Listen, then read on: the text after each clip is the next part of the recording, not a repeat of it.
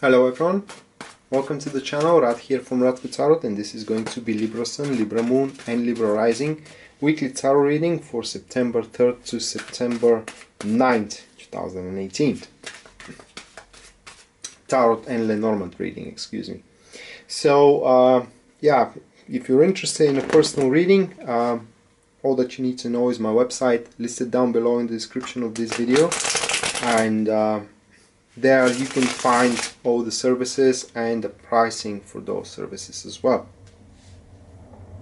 So that set aside let's see what awaits you now. The tarot reading will be first four position spread.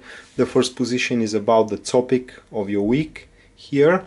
The second position uh, regards to the core of the situation that you're going to find yourself in then is the challenges you know something that needs to be overcome something that will cause you troubles. Then is the uh, guidance. Advice from tarot that you know if you want to listen listen. If you don't just go along with your life all right, so uh, the first card that will be the Emperor. So the Emperor card is about control, is about ruling, it's about taking on as well responsibilities for your personal actions. When, when we do have the Emperor card, it is likely, especially as a topic, it is likely that the week is going to be um, very stiff, for the lack of better term, uh, better terms. In other words, everything will be um, scheduled. The week is, will be uh, totally scheduled from the top to bottom and is unlikely that you are going to find a, a free space for additions They are not that additions are going to um, to present themselves. So uh, that being said, this card points that the, the week is going to be very very busy regarding either career or regarding either relationship, and not because you have to resolve any issues there, but because you have to exert control into those fields. The more control you exert, the more calm you are going to find yourself in, and in some cases, the more um, how can I place it? the more time you will make up for yourself.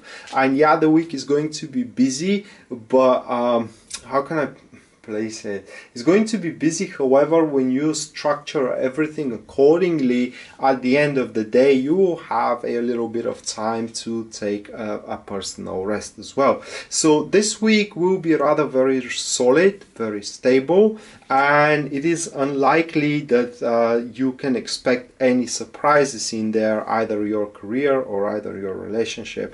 As a matter of fact your place here as you can see the emperor sits in, in its in its throne.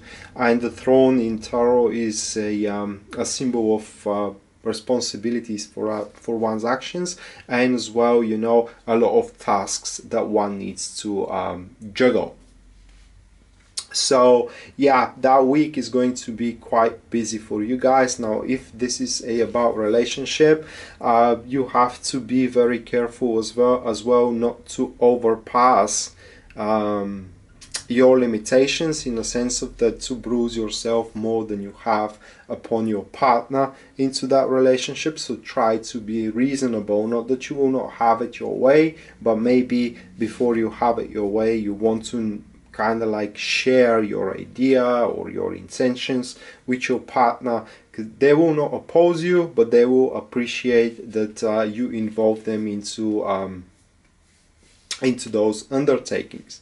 Now the next card here um, that will be the high priestess which is the core of the situation. By the way uh, i forgot to mention here that the emperor also could represent sitting on a high place uh, commanding something.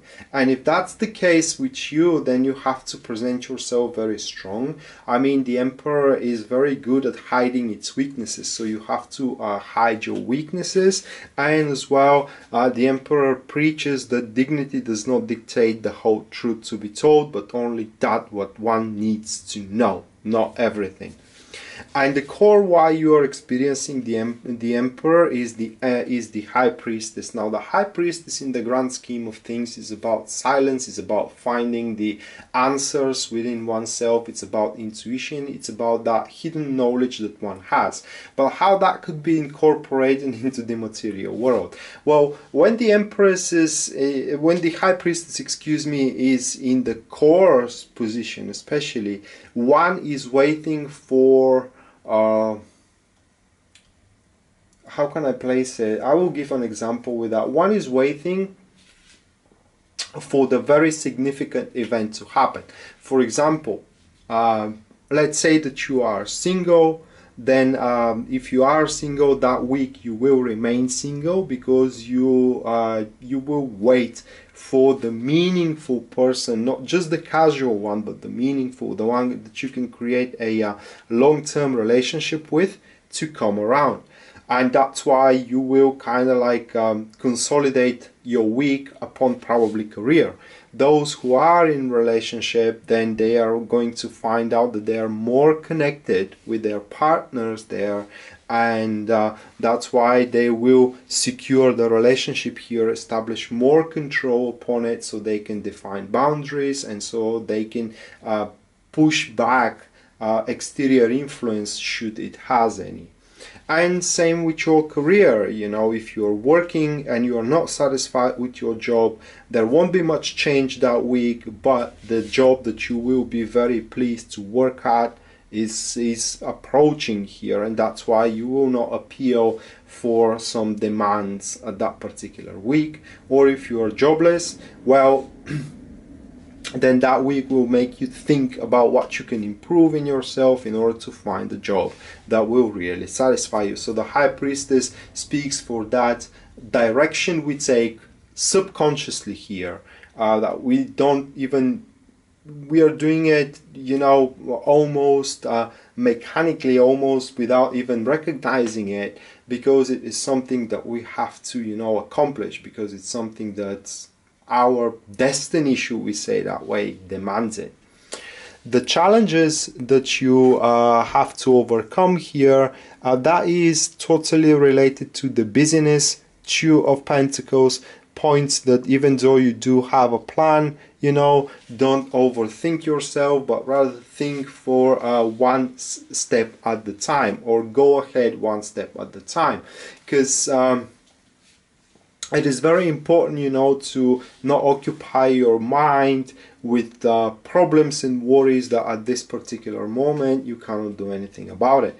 Now, for example, let's say that you do have a scheduled interview in uh, Thursday, all right, and um, three days monday tuesday and wednesday you know you only think about that interview you stress yourself and therefore uh, you don't give the most out of yourself or the very best of you into the current undertakings that are taking place into monday tuesday and wednesday so think one step at a time at, at the time focus at the task ahead and don't concern yourself with things which haven't taken place yet.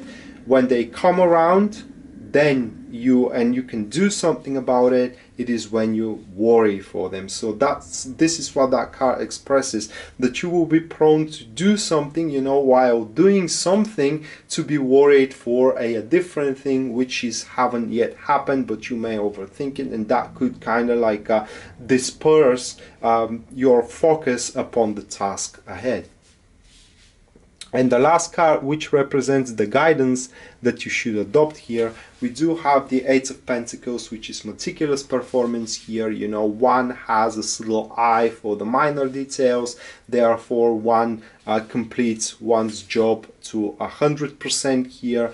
Um, one doesn't slack as well when it comes to relationship. This card points that it is time, you know, to execute a very um, long negotiated plans. So let's say that the previous year even uh, you have thought with your husband or a wife to i don't know to visit europe all right? But you always postponed that. Well this card here advises you to pick yourself together you know and start doing something to um, fulfill that dream of uh, of both of you.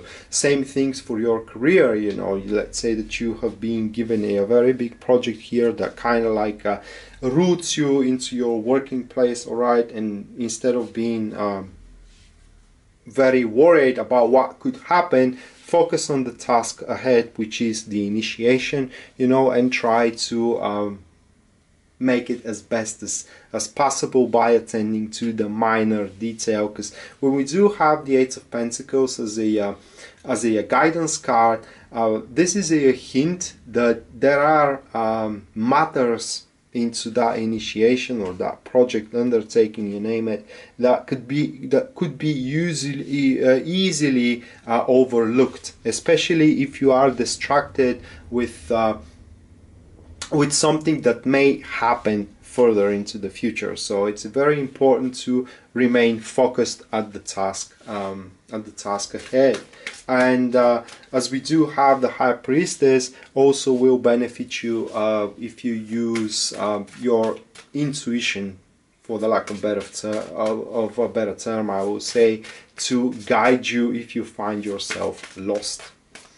So that was uh, as far as it goes with Tarot and now uh, let's see what the Lenormand has to say about an event in your um, in your week that you should either look forward to or avoid in case it's a negative event. So what we do have here now the first card that will be the letter. Well we do have the letter in my, every single reading uh, then is the ship. So that will be a message from afar for what it seems about either a child or a about uh, because the, the child sits for a child for a new beginning or for innocence as well.